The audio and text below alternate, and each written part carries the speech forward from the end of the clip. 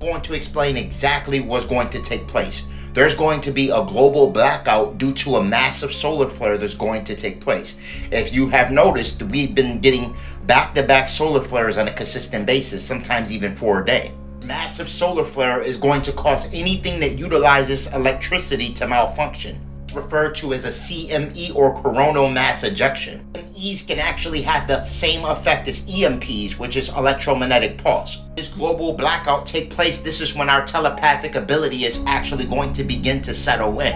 All right, the ones that are chosen, the ones that are elected, the ones that are aware, those that are enlightened, are actually going to be aware of what's actually happening. And what's going to happen is a channel is going to turn on. And we are going to be able to telepathically sync into this channel. We're going to be simultaneously hearing each other's thoughts.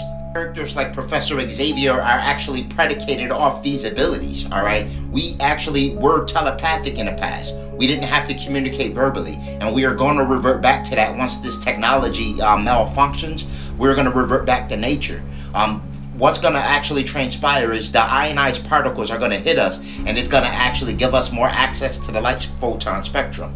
We're going to actually ascertain more ancient memories. Our dormant thoughts are going to come online. Now, speaking telepathically is just like riding a bike to us ancient uh, as far as our ancient memories. We just currently are in the sleep spell but once we are we reawakened and um, that uh, what they call so-called quote-unquote junk dna begins to awaken one of the first things that we're going to actually develop is telepathy when you hear certain individuals that claim they hear voices in their head, they're telepathic, all right? They're not schizophrenic, they're not crazy. A lot of these people in sanitariums and insane asylums are actually gifted and have abilities, all right? When they talk about the school of the gifted, that's facts.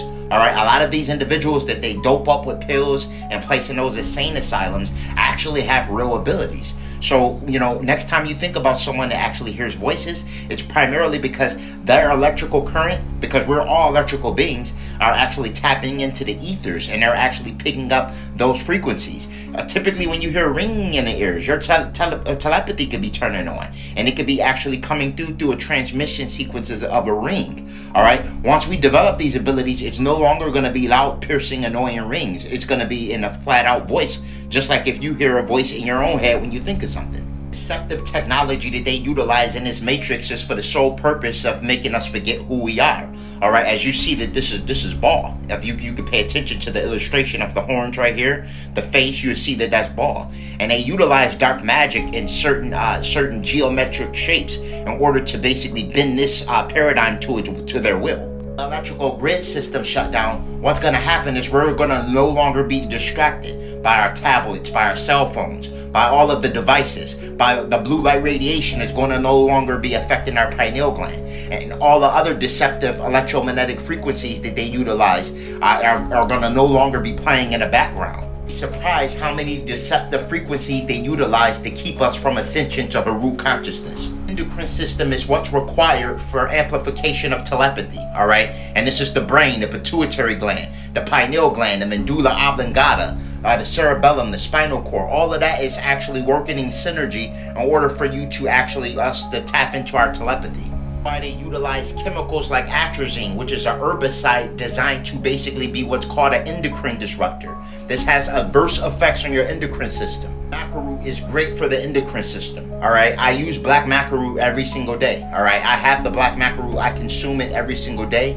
Um, this is available on Holistic Remedies for Ascension link in bio. Maca root is not only beneficial for decalcifying and activating the pineal gland, but it's also great for the libido. Maca root has been known to substantially improve sexual function. So recommend Ayurvedic herbs such as lion's mane, aka Hericium erinaceus, uh, as well as Ginkgo biloba. All right, these three are phenomenal for decalcifying as well as activating the pineal gland. Also, Ormus. Ormus is another elixir that would substantially begin to amplify your telepathy. All right, and these are the herbs that you need to start utilizing. All right, on a consistent basis actually already have our powers. We just have to actually revitalize ourselves. We have to start utilizing and act the necessary herbs to rebuild ourselves again. They've been poisoning us on a consistent basis.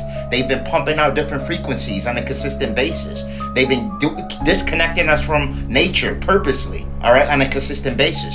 So we have to actually revert back to that also stress the importance of utilization of chlorophyll because the solar flares are going to be continuing to ramp up. And you want to ensure that the lead, cadmium, and mercury is properly purged from your system say hypothetically speaking the grid went down today and we had no more fans and things of that nature. We had no more air conditioner the sun would be unbearable for those in hotter regions okay? I'm in florida currently and i know it would be very hot but since i've been detoxing and i actually been removing the toxic metals i would be able to endure the sun a lot better than someone else uh, would be able to endure the atmospheric conditions without uh, fan and air circulating coming through or without proper ventilation all right? Your body at that point would have to actually kick into its natural defense mechanisms. And that's what the eumelanin's job is. But they've been utilizing toxic metals to basically circumvent the eumelanin's job all right to allow you ample protection. So this is why you must purge yourself and cleanse yourself to return back to nature gods and goddesses that actually be underneath the comment section, how we all communicate, right? And you're reading this and y'all are dialogue back and forth. That's exactly how it's gonna be, but just on a telepathic level. And I seen this.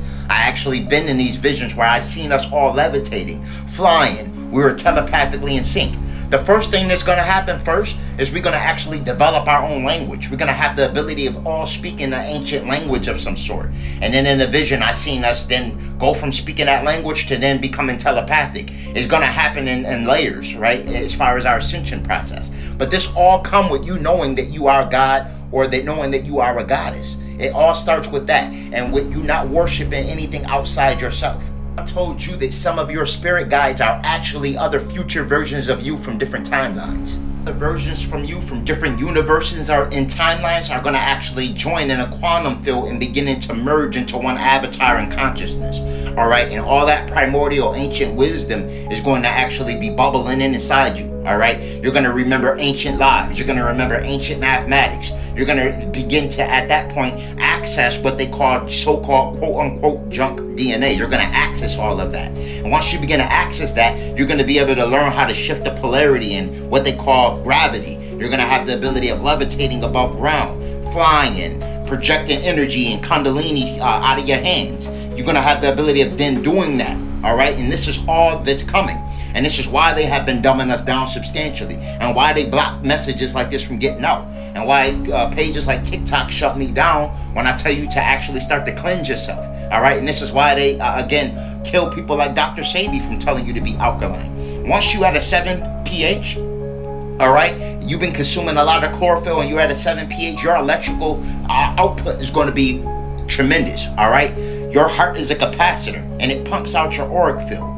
Once you actually have increased your electrical output, you've been wearing a copper bracelet, you've been utilizing the proper herbs to ensure that you're in homeostasis, your electrical current is going to increase substantially. Put that in conjunction with grounding, sun gazing, transmuting that, that cosmic energy the correct way. What's going to happen is you're going to begin to transform to superhuman or metahuman. And things like DNA tuning forks and Tibetan singing bowls as well. All right. Re- remember, we're moving to our light body. We are frequency primarily. They always utilize deceptive frequencies, deceptive technologies and wavelengths. All right. And this is why they got rid of all the bells.